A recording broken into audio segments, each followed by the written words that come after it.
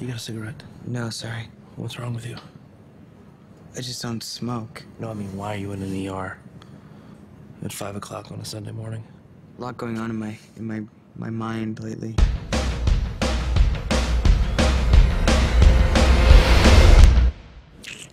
Yeah, gotcha. And this summer school application. Why would you want to be in school in the summer?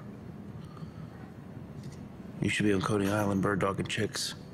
Are you a doctor? Sometimes I wish I had an easy answer for why I'm depressed. Welcome to 3 North Craig, our adult psychiatric floor. Our teen floor is undergoing some renovations. Is there a place here for people more like me? We got all kinds of patients here, man. Hey, hey, Bobby. How about a tour for our new friend Craig?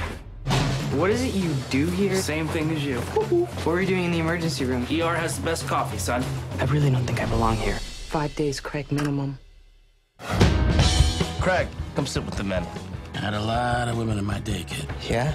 You don't have to ask so surprised. Who is that? That's Noelle. She's one of the teens. You should ask her out. Nice shirt. You can practice with me. Stand up. I'm a lady.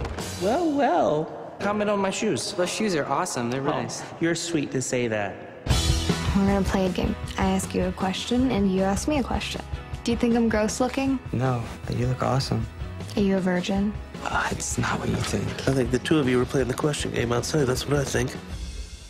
Well, I guess it is what you think then. I thought so.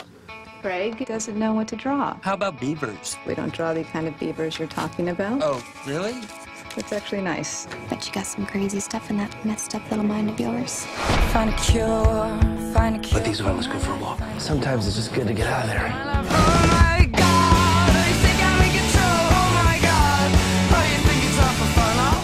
Daughter is better off without me. I think that she's just gonna want her dad around. What I would do to be you for just a day, I'd just live. my god,